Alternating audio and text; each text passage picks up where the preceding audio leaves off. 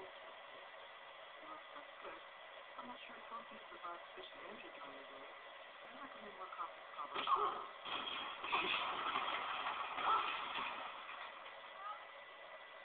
recommend you shut the fuck up. All right.